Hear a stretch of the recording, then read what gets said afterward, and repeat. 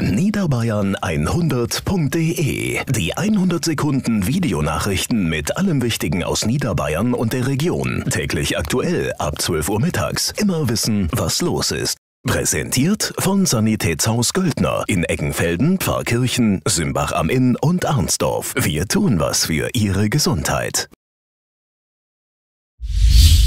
Herzlich willkommen bei Radio Trausnetz Niederbayern in 100 Sekunden. Die Boulevardpresse feuert weiter gegen den Regner Landrat Adam. Anlass ist noch immer die Sexaffäre des homosexuellen Landrats. Auf ihrer Homepage titelt die Bildzeitung heute Die Ausraster des Sexlandrats. Adam wird in dem Artikel als Landrat dargestellt, der, Zitat, keinen irren Streit mit wem auch immer scheut.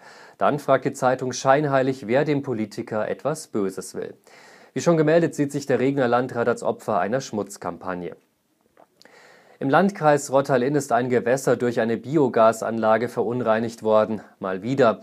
Silo-Sickersäfte sind in ein Nebengewässer der Kolbach bei Ganghofen gelangt.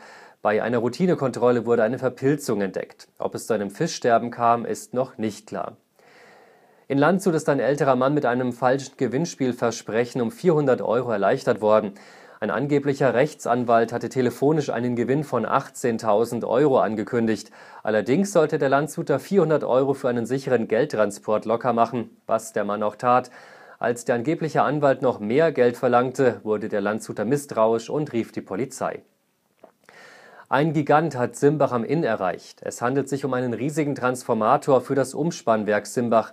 Gebracht wurde der Trafo mit der Bahn. Die letzten Kilometer zum Umspannwerk ging es mit einem gigantischen Schwertransporter. Wichtig ist der riesige Transformator für die Energiewende. Pendler aus Niederbayern in Richtung München haben heute länger auf der A92 gebraucht. Bei Freising hatte der Reifen eines Lasters zu brennen angefangen. Geladen hatte der LKW tonnenweise Papier. Die Feuerwehr war aber schnell und konnte verhindern, dass die Flammen vom Reifen auf die Ladung übergriffen. Wegen des Einsatzes kam es vor dem Kreuz Neufahren zu einem kilometerlangen Stau. Die Landshuter Stadtkomikreihe bekommt Zuwachs. Nun gibt es den fünften Band der Landshuter Stadtgeschichten.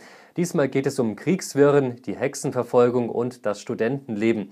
Den neuen Landshuter Stadtkomik gibt es bald in der Tourismusinformation und im Buchhandel. Aktuell informiert auch unter radio-trausnetz.de.